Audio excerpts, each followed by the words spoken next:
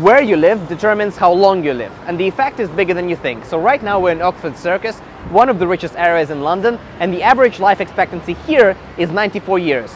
Pretty good. But if you move from Oxford Circus to Warren Street, so just one tube stop, here's how your life expectancy is going to change.